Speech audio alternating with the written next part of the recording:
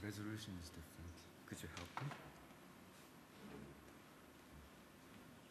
No, it's the right one. Is it the right him, one? it's the right one, yes. Ah, okay, now it's working. Hi, good afternoon. I have a question to uh, Frau Ushida. You didn't say how many meters the square, the square is. It's six meter.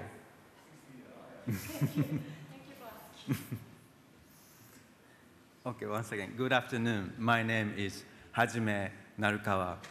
And like many of you, I guess, I'm a designer and an architect. And as, a as an architect, I research and uh, continue to research a perspective drawing that is a projection method. We designers use such drawing for describing a three-dimensional uh, object that you can design on a rectangular piece of paper.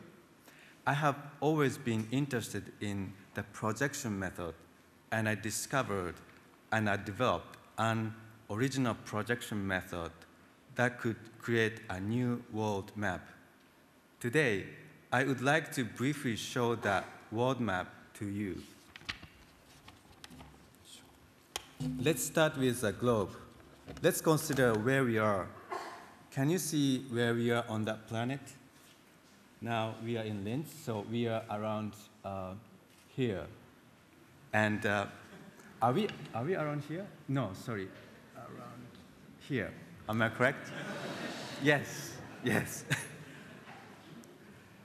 there's, a, um, there's a no edge where the world suddenly ends with the waterfalls or dragons, as was believed 500, 500 years before. To perceive our Earth, we have two tools a globe and two dimensional world map. A globe can show the proper size of Japan, which is very small, unfortunately, and Eurasia, which is huge. And uh, we can also see the distance and the direction, such as from Linz to Tokyo. In this way, the globe can accurately show all sizes, shapes, and distance, but globe is limited. It cannot give us in one picture a general overview of the Earth. So that if you look at Eurasia, you cannot see the United States, United States behind the sphere. That's why human being invented a flat two-dimensional world map. And that world map we have been using sometimes is unable to offer a clear, accurate rendition of our planet. Now, let's turn to two prior artworks to illustrate why I developed a new world map. First, it is very important to recognize that there's no perfect resolution in representing a spherical image onto a flat rectangular piece of paper. There is always a distortion in every world map. In its long history of map making, the Mer- Mercator projection is one of a few prior arts of its kind that fits into a rectangle and has been familiar for 440 years. It was created to help sailors navigate to great discoveries. But the first challenge on, the, on a globe map is the shortest distance between two points is described as a curve. For example, an air flight from Tokyo, I'm sorry, I have to use an example for a Japanese. So one air flight from Tokyo to Brazil via Houston uh, looks like it's described as a curve. So it's like a, a first we flight from Tokyo from west to east, and then detouring and going from north to south. Secondly, the globe cannot, sorry, secondly, the globe cannot properly depict the polar regions. For example, Greenland seems larger than Australia. So actually, Greenland is the, the biggest island, but still much smaller than Australia. But it describes uh, Greenland is much larger, larger than Australia, even larger than Africa, which is not true. Third, it is hard to determine the shape of Antarctica.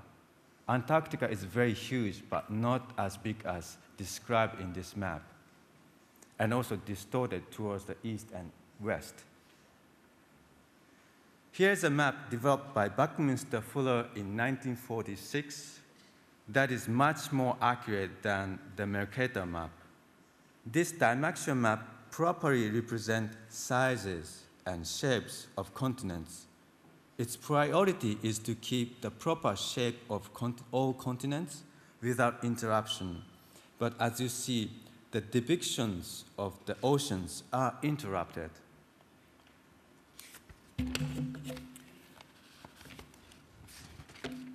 Like these two examples, I found that all existing map either contains distortion when transforming an entire sphere to a rectangle, or when reducing distortion, maps are unable to fit the outline in a rectangle without gaps. I wonder, can we make a better map that better fits a sphere into a rectangle like Mercator, does, and minimize distortion like Dymaxion map at the same time? The following animation shows that how I discover an answer to this challenge.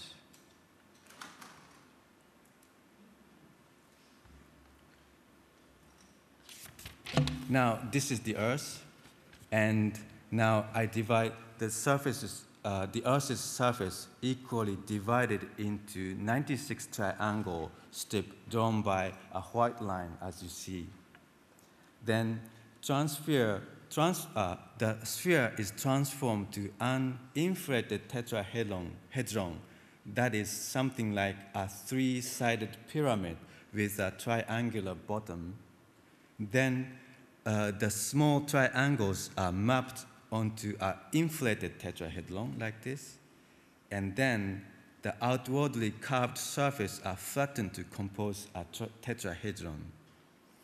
Now, finally, a rectangular world map is obtained by cutting and opening up the tetrahedron like this way.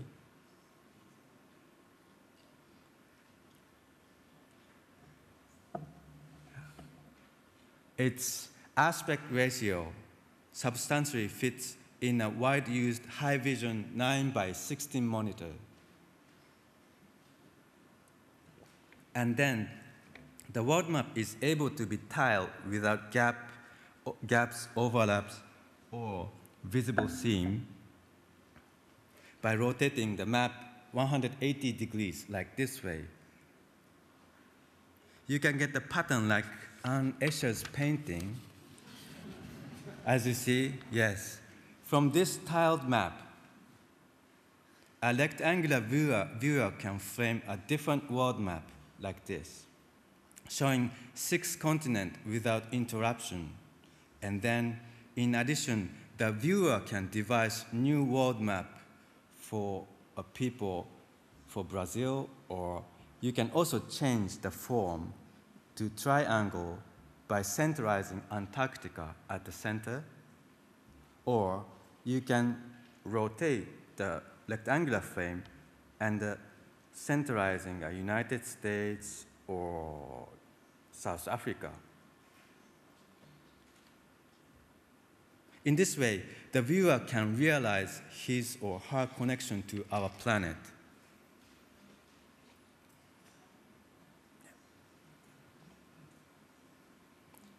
Now, the method offers greater accuracy, such as depict, depicting Greenland, which is now, yeah, here's a Greenland here.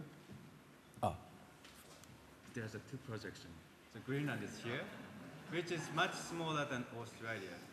Again, Greenland is much smaller than here, Australia. And you can see the size and shapes of Antarctica, which is here.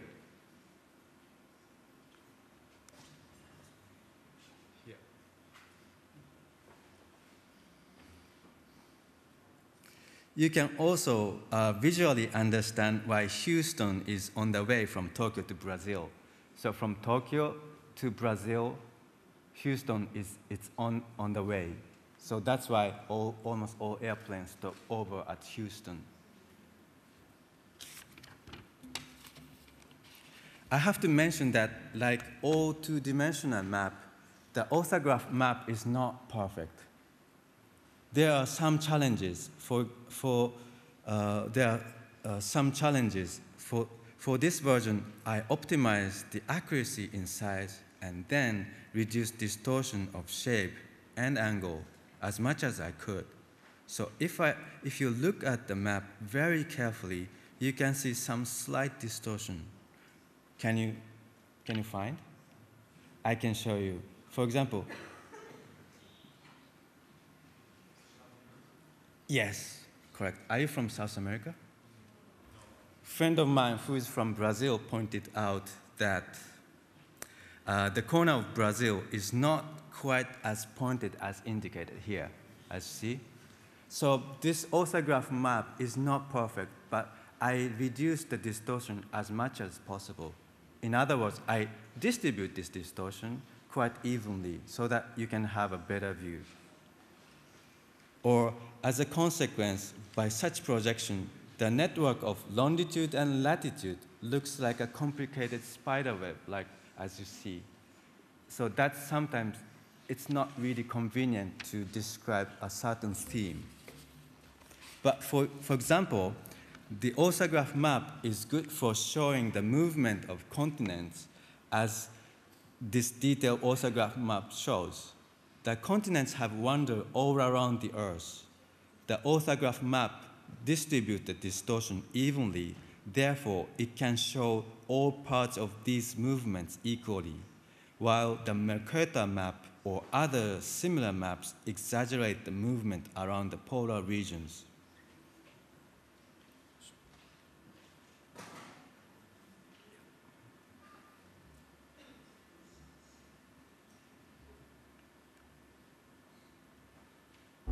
This animation shows a continent, continental drift for past 650 million years based on data from paleogeographer Ron Blakey.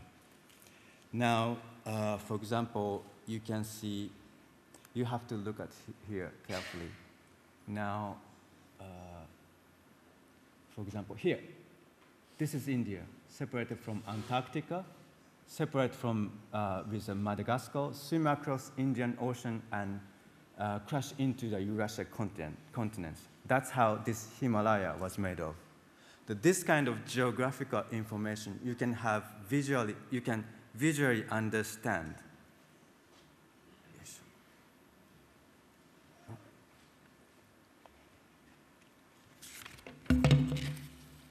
Long ago, it was thought that the world is on an infinite plane. Since the geometry of the sphere and an infinite plane are similar, working on both end, uh, work, working on both surfaces, we, don't, we do not meet the end. The AuthaGraph map is able to tile and extend so as to reproduce a spherical world without end on a plane. The AuthaGraph provides a new perspective to equally view the world so as to be free from existing perception such as up north or far east.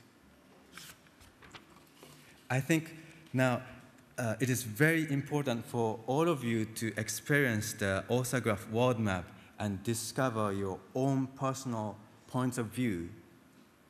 This is GeoPalette. It is an online map archive made by Miraikan using the AuthaGraph map. So you can use this service in the internet. I can show some example of how this, can, this geograph, uh, can do.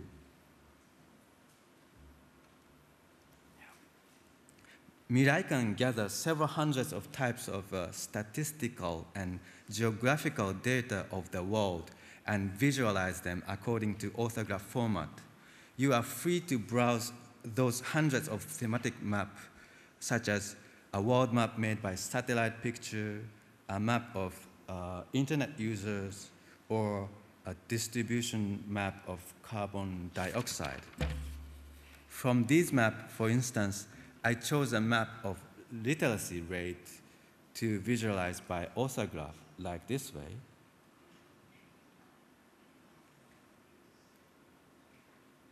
There, you can edit the, uh, the gradation of theme. There are several hatch patterns to depict it. You can adjust its transparency, or you can change the color. And then you can overlap several maps to create your own unique map.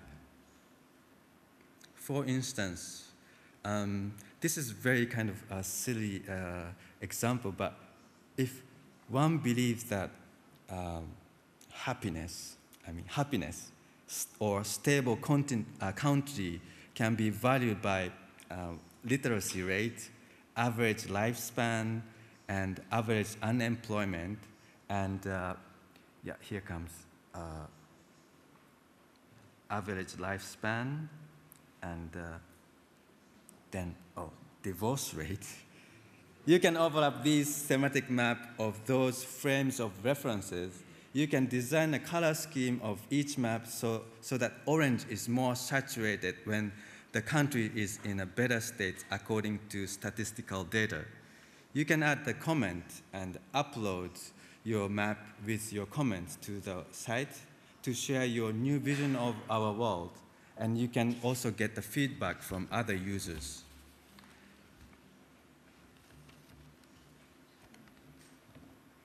You can, of course, change the center of the map.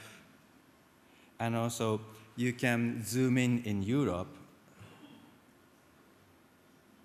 to see the details to check uh, Austria. And Austria is quite, looks orange and quite happy. I'm sorry, I use the orange, which is a kind of uh, representative uh, representing color of the, uh, the Netherlands, but it doesn't say the, how the Dutchness is. So, it, so I have to change the color. Yeah, also, you can zoom out and uh, rotate the viewer frame and slide and crop our world from new angle with a new center like this way. In this way, we provide an opportunity to you to become familiar with your world by creating your new vision of our planet. You can experience Geopart here in this building, at the exhibition space, outside of this hall. So uh, if you have time, you are uh, we are more than happy to, uh, that you touch the GeoPalette to uh, discover your own vision of the world and we are more than happy to have a discussion with you outside of the, uh, this hall at the exhibition space after this symposium. And also, Mahoro and I have a presentation tomorrow, which is a one-hour presentation at the deep space. There, I can show more example by using this AuthaGraph world map. Well, thank you very much. Thank you very much.